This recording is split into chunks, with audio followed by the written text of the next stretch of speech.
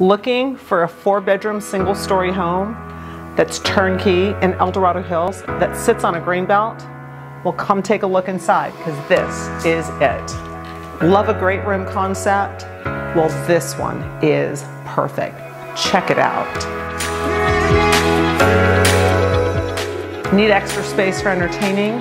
This living room, dining room combination is ideal. Let's go check out the luxurious primary suite. Light, bright, and spacious, the primary suite is ideal for relaxing in the luxurious tub.